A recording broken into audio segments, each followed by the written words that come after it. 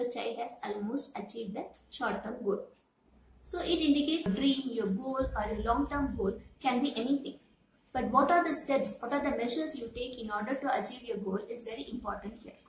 And if your child is non-verbal, it is very difficult for them to say yes or no.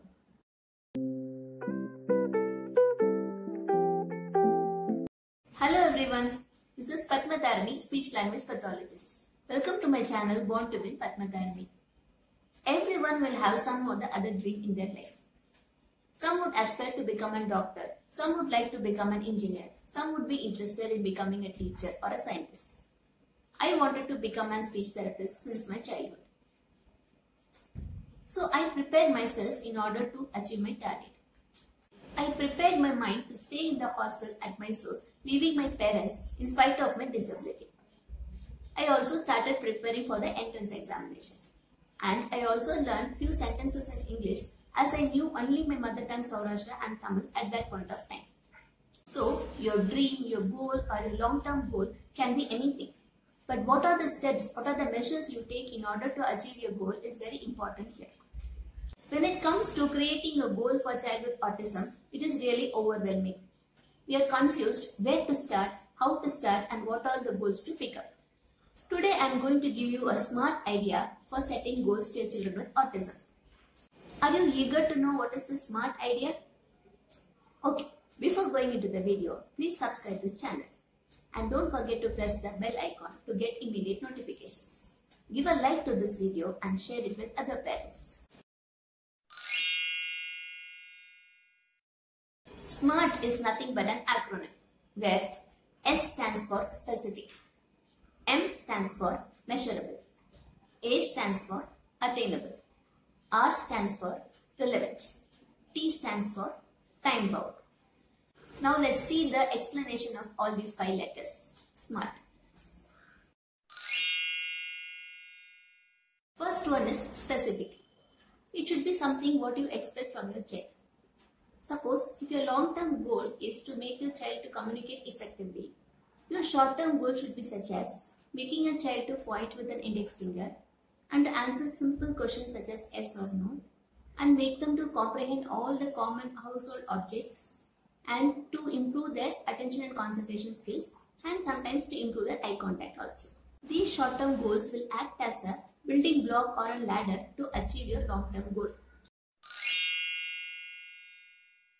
Second one is measurable. Whatever, whatever activity you teach your child or your child does should be measurable.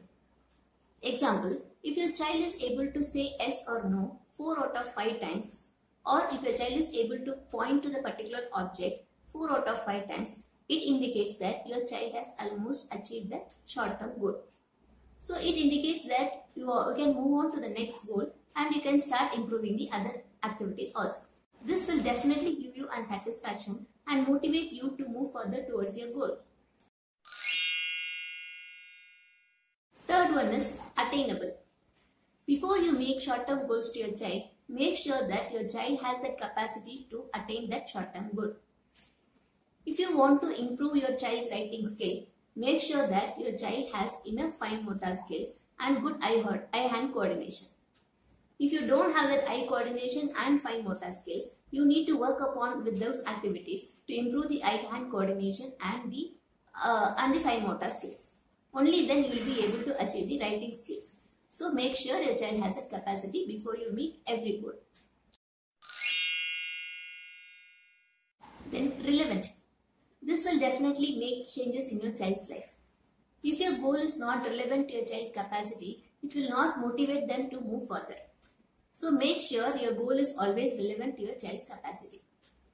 For example, if you want to teach them numbers, alphabets and uh, days of the uh, days of the week, months of the year and everything, but the child doesn't have even basic communication skill, it is definitely going to be a waste of time and energy of teaching numbers and uh, alphabetical order. So make sure whatever you teach is relevant to your child capacity. The fifth and last one is time bound. When you select a target, always set a time bound or time limit to achieve the target. If you don't have any time limit, you will keep on doing that activity again and again and you will never feel satisfied. and you will not get that interest also to achieve the target. So please set a limit and it should be depending on your child's capacity and your goal also. If your child has good verbal capacity, making them to say yes or no, yes or no will not be a difficult task. It will just take one or two weeks of time. And if your child is non-verbal, it is very difficult for them to say yes or no. So it will take more than two weeks of time. So depending on the goal and depending on your child's capacity, you can set the time limit. Parents, till now we saw the explanation of the acronym SMART. So start using the SMART ideas from today and I wish you all the best to achieve your target and become a smart parent. I'll meet you again in the next video. Until then it is thank you and bye bye from Padmatharani.